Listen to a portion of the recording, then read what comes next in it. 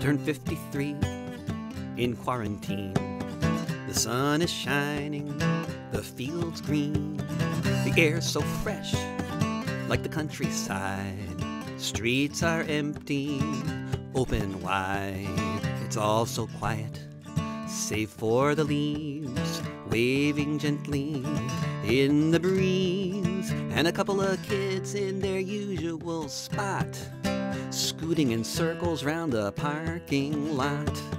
I turned 53 in quarantine, slowest birthday ever seen. Clouds are drifting in the sky, the occasional jogger jogging by, usually with headphones on, eyes fixed low, leaving a wide berth as they go.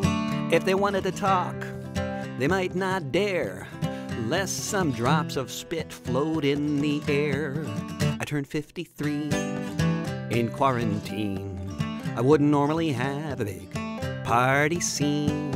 I'd be going on tour though in the typical spring playing shows and everything. Seeing friends crossing borders, finding trouble. Not hiding with my family in a sealed bubble. Waiting till the time comes when we can be part of the world of other people again. I turned 53 in quarantine. Watching the world lose its sheen as things all rust and fall apart. No more horse to pull the cart, no couriers out. They went on strike.